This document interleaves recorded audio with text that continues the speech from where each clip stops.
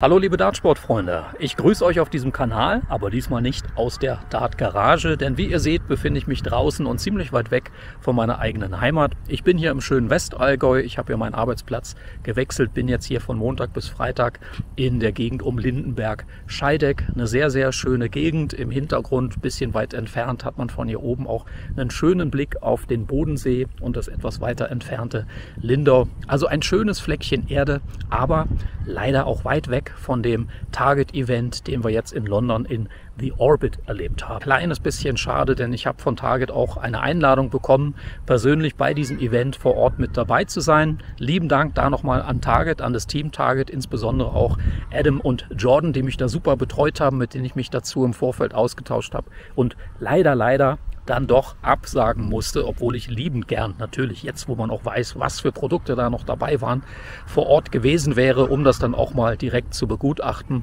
Aber hier musste ich jetzt einmal kurz eine Entscheidung fällen, denn der Job verdient den Lebensunterhalt, die Rente und alles, was mit dranhängt. Und von daher, ja, muss man da einfach mal rational bleiben und sagen, okay, die Gelegenheit, Target vor Ort zu besuchen, ist damit nicht weg. Ganz im Gegenteil und das freut mich besonders. Ich kann auch außer der Reihe jederzeit da mal ins Target Headquarter kommen und denke, das ist vielleicht gar nicht so schlecht, denn ihr habt ja mitbekommen, unter anderem gibt es ja das neue Omni, das Kamerasystem, das wird um die 400 Pfund kosten, ist angepeilt und wird voraussichtlich dann zum Jahreswechsel, also im nächsten Jahr, dann verfügbar sein. Da ist noch ein bisschen Arbeit zu tätigen, aber es ist auf jeden Fall schon mal eine Ansage.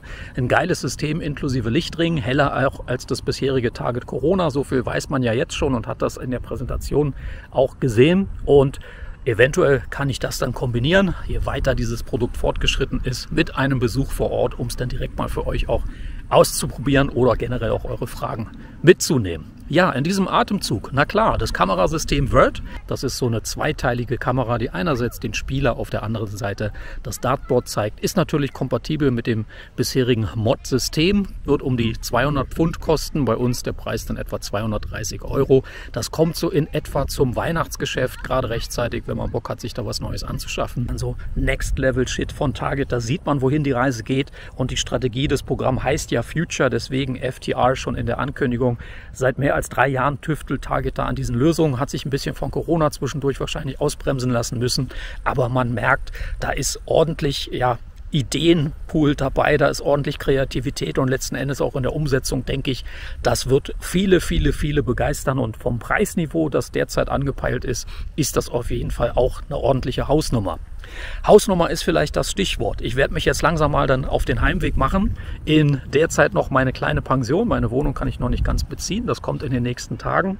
Aber derweil kann ich euch dann noch die anderen Neuigkeiten vorstellen. Denn Target hat ja noch Darts vorgestellt, neue Molded Flights, die sehr interessant aussahen und zu einem Kampfpreis auch auf den Markt kommen, sowie noch diverses anderes Zubehör. Und darum soll es jetzt mal gehen. Ich gebe euch mal gleich einen kleinen Eindruck von den Dingen, die ich so mitgenommen genommen und mitbekommen habe und sag einfach mal einen Senf dazu, ob ich es interessant und lohnenswert finde oder vielleicht auch nicht. So, dann sind wir drin, ist ein bisschen improvisiert, aber hey, es geht um eine erste Einschätzung über die Produkte. Ihr habt mich nach einer Meinung gefragt und die sollt ihr auf jeden Fall auch bekommen. Ganz klares Highlight für mich aus dem Darts-Bereich ist der German Giant. Also ich persönlich habe mich da jetzt schon lange drauf gefreut und finde es super, dass er endlich da ist. Gabriel Clemens hat selber auch gepostet. Endlich ist er da und ich finde, er ist vom Design auch wirklich gelungen. Es ist diese etwas griffige Variante, die Gabriel ja schon längere Zeit jetzt spielt. Wir haben weiterhin diesen wunderschönen, nahtlosen, glatten Übergang der Nano Storm Points, die auch standardmäßig schon mit dabei sind. Dieser Sandstrahl-Look in matt zusammen mit diesen hellen Highlights, das sieht einfach richtig geil aus. Ja, der Dart kostet jetzt knappe 80 Euro. Vom Preis her ist das ein bisschen eine Nummer wieder nach oben, aber okay, es ist Target. Ne? Man kennt, dass die Preise eher nach oben statt nach unten sich orientieren. Er war mal kurzzeitig nach dem Launch für tatsächlich 65 Euro bei vereinzelten Shops im Angebot. Hat aber nicht lange gedauert. Ich denke mal, als die mitbekommen haben, hey, die anderen nehmen 80 Euro, nehmen wir auch 80 Euro. Also wer den jetzt unbedingt haben will, der muss die 80 Euro wohl oder übel jetzt erstmal bezahlen für den Gagadat. Ganz klar natürlich Swisspoint. Target bringt da jetzt nichts anderes mehr bei Darts raus. Die haben alle Swisspoint in 21 und 23 Gramm, nach wie vor 52 mm Barrel und vom Durchmesser 6,7 oder 6,9. Das ist das, was man eigentlich auch gewohnt ist, was Gaga soweit spielt. In dem Design jetzt so nicht, aber zumindest nicht mit der Beschichtung. Auf jeden Fall ein wirklich geiler Dart. Und mein zweites Highlight ist natürlich der Nathan Espinel Dart. Also den hat man ja jetzt schon längere Zeit gesehen. Er ist halt ein kopflastiger Dart, was für mich jetzt vom Spielerischen her nicht so das mega Interessante ist. Da habe ich immer so ein bisschen meine Herausforderung mit. Aber das Design ist einfach mega gelungen. Mit diesen wunderbaren Applikationen in der Mitte, denn nicht nur diese Querfräsungen, die eingefärbt sind, sondern auch noch hier diese Ellipse, die auf beiden Seiten mit drauf ist. Target-Logo, hinten klassischer Ringgrip, aber da, wo Nathan selber den Dart ja auch greift, die Flights auch interessant. Dieses Schlangendesign ist hier so ein bisschen reduzierter, einfach in der Mitte. Mit The Asp die Packung auch nochmal in den Farben her richtig knallig geworden. Das sieht richtig geil aus mit dem Prägedruck. Also farbenmäßig sowieso hat Target da auch nochmal ordentlich äh, die Designtrommel gerührt. Das ist alles wie aus einem Guss und wirklich nochmal richtig schick okay, so kann man natürlich dann auch die höheren Preise entsprechend rechtfertigen. Design spielt einfach da auch eine Riesenrolle, müssen wir einfach ehrlich sein. Und es ist bei Target immer auch echt gelungen. Also die Nathan Espinel sind wirklich gelungen, gibt es in Stil wie in Softtip, in Stil dann in 22 und jetzt auch die Zwischengewichte, nämlich 23, 24 und dann 26 Gramm. Finde ich zum Beispiel auch eine schöne Sache mit 95% Tangsten bestimmten Dart, der auf ganz großes Interesse stoßen wird. So ein kleines bisschen habe ich noch gehofft, dass auch Raymond van Barneveld womöglich nochmal neue Darts kriegt. Wäre ja jetzt gar nicht mal so weit entfernt gewesen. Ich meinte auch mal gehört zu haben, es gäbe sowas wie ein Jubiläum von Raymond van Barneveld und von daher sollte er auch noch mal ein bestimmtes Set Darts bekommen. Vielleicht kommt das dann noch mal so ein bisschen später, aber ganz klar, wer kriegt natürlich auch neue Darts und zwar die Generation 10 der Phil Taylor Darts. Power 95 Generation 10, natürlich auch auf Swisspoint. Form ist bekannt, winzig kleiner Dart mit winzig kleinen Flights. Wer es mag, ich meine für Fans von Phil Taylor mit Sicherheit auch fast immer sowas wie ein Pflichtprogramm. Ich finde es vom Design in den Einzelheiten und so weiter wirklich wieder sehr gelungen. Sonst sage ich mal das, was man hier auch erwarten würde in 22, 24, 26 Gramm.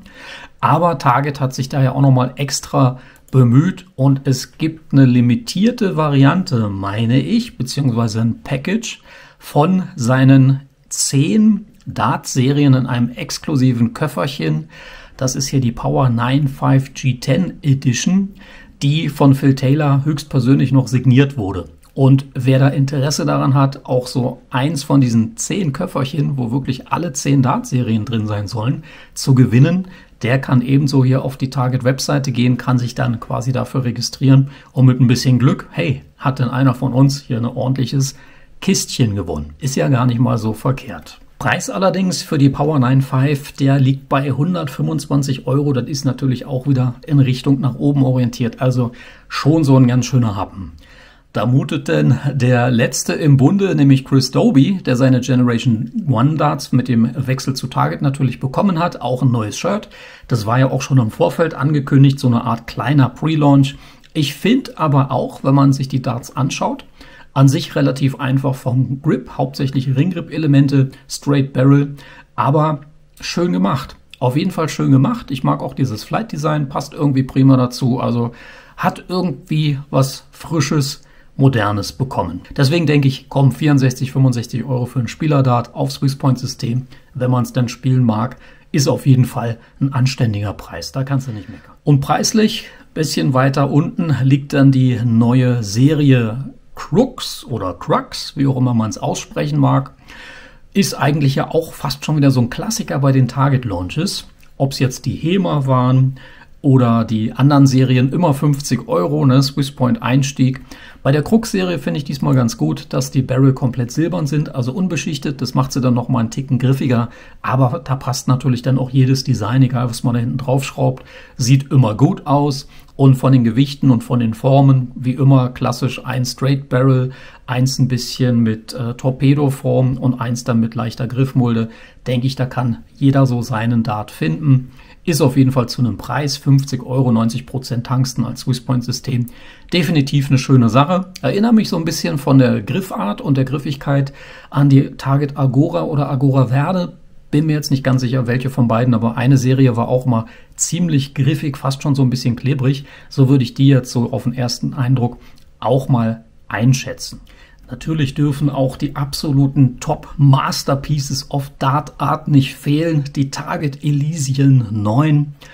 Ah, ich finde sie immer wieder natürlich mega geil. Vom Design, was Target sich da auch ausdenkt. Diesmal ist Speed so das Thema. Wir haben so ein asymmetrisches Design diesmal drin. Und es ist wirklich bis auf jedes kleinste Detail runtergebrochen. Einfach nur geil. Also wenn man die mal in Natura sehen und in der Hand haben kann. Ich würde Handschuhe wahrscheinlich tragen. 550 Euro kosten die Packerl und die sind trotzdem immer relativ schnell ausverkauft. Was ich hier auch wieder geil finde, nicht nur neben dem Speed-Design und diesen Verwirbelungen so förmlich, hat man hier auch eine super exklusive Target Swiss Point Spitze, die auch so leichte Rillen drin hat. Also das ist der Wahnsinn. Und wenn man hier so ein bisschen weiter runter scrollt, da ist auch mal so ein super exklusiver Dartständer und so mit drin. Also da ist wirklich alles von vorne bis hinten durchdesignt. Aber diese Muster hier vorne an dem Barrel, das ist einfach genial. Auch mit den einzelnen Rillen, mit den Strukturen. Also schon auf den Fotos ist es wirklich ah, einfach nur lecker. Mehr fällt mir dazu nicht ein. 550 Euro ist ja auch lecker Preis. Gibt auch einige, die sich das gönnen können und auch gönnen dürfen. Finde ich super für all jene. Ich hoffe, ich lerne mal irgendjemanden kennen, der die Elysian Darts irgendwie gesammelt hat. Dann äh, gucke ich mir die gerne mal an und fange wahrscheinlich das Sabbern an. Aber schöne Darts gehört bei Target, finde ich, irgendwie so zum guten Ton und ähm, kann man sich auf jeden Fall immer mal angucken. Also in diesem Jahr bin ich von dem Design tatsächlich sehr angetan. Gerade dieses Speed-Thema, da ist ja auch immer so ein Heft äh, mit dabei, wo das ganze Thema nochmal erläutert wird, wie die Designer drauf gekommen sind und so weiter. Also das ist so eine richtige Erlebnispackung. Ich denke mir halt so ganz pragmatisch, da kommt bei mir immer der analytische durch. 550 Euro für so einen Dart, den du eigentlich immer nur anschmachten, aber niemals spielen kannst. Das ist halt so das Thema. Aber auf jeden Fall finde ich der Elysian dieses Mal neunte Edition auch wieder ein Highlight. Und dann wird es nochmal interessant mit den neuen 975. Da gibt es jetzt eine Neuauflage. Und ja, die kostet eine Kleinigkeit von 240 Euro. Der 975 Ultramarine vom Design auch wieder mit diesem asymmetrischen, auf jeden Fall gewagt, denke ich mal. Denn statt womöglich jetzt Griffmulden oder ganz besondere Grip-Arten hat sich Target diesmal einfach gedacht, und das ist ja beim Elysian Dart auch jetzt ähnlich so gemacht, wir könnten doch mal über das Coating und diese asymmetrische Form im Prinzip beim, ja, ich drehe sogar die Darts für mich selber auch mal gerne in der Hand ein. Also würde ich gerne mal so einen in die Hand nehmen, ob man da diese eine Position für sich findet an diesen schrägen Banderolen oder einfach an diesen Orientierungspunkten. So gesehen würde ich mal sagen, es ist eine andere ja, Art von Orientierungspunkten am Barrel. Ähm, vom Design ist es auf jeden Fall sehr auffällig. Ich kann auch diesmal den Preis etwas verstehen, dass wir da bei 230 Euro, also über 200 Euro sind, denn das ist auch nicht mal eben so super einfach zu machen. Exklusiv in dem Paket ist natürlich dann auch mal ein ganz besonderes ähm, Target äh, Wallet mit dabei und dazu dann noch mal zwei weitere Sätze Spitzen. Momentan auch mit der Einführung exklusiv diese neuen K-Flex Flights, da komme ich gleich noch dazu, in natürlich diesem Marineblau. Die gibt es im Moment nur mit diesen 975 Darts. Und ja, mein Gott, der Preis ist wie er ist. Ähm, ich kenne nach wie vor relativ viele, die auch die 975 sich zuvor gegönnt haben. Also glaube ich, ist es keine verkehrte Geschichte. Äh, auf jeden Fall ein Hingucker und mal was Neues. Auch wieder so drei Formen plus eine Softart-Variante, die mit Sicherheit auch ihre Liebhaber finden wird. Und wo ich K-Flex gerade erwähnt habe, scrolle ich immer ein bisschen runter und wir gehen da mal rein. Das sind jetzt neue Flights, die auf den ersten Blick natürlich ganz stark an das Condor X-System erinnern. Aber der Vorteil der K-Flex soll ja sein, dass sie eben einen flexiblen Schaft haben, der sich nicht nur nach oben unten biegen lässt, sondern auch leicht verdrehen, was dann bedeutet, dass wenn nachfolgende Darts auf so ein steckendes Ding hier treffen, dann habt ihr womöglich nicht so dieses Plastikgeräusch und die etwas ja, härteren Deflects. Guckt dazu mal mein voriges Video zum Beispiel zu äh, Shaft-Flight-Systemen an. Da habe ich das ja auch mit erwähnt, dass so ein Thema für mich persönlich auch bei den Condor X-Flights äh, weniger das Geräusch ist oder dass die so fest sind, weil es ist auch nach wie vor eins der äh, haltbarsten Shaft-Flight-Systeme, die ich jemals ausprobiert habe.